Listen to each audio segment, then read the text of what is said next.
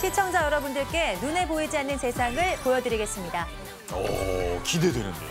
저도 한번 직접 해보고 싶은데요. 슐리렌 기법을 이용해서 눈에 보이지 않는 열기를 보여드리겠습니다. 외계인 같은데 지렁이? 내가 어렸을 때 그린 그림 같은데 이거? 니 많어.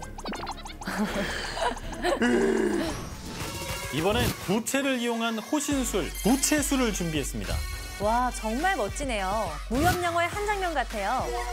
부채술의 엄청난 기술을 360도로 보여드립니다. 비욘드 아이. 아이.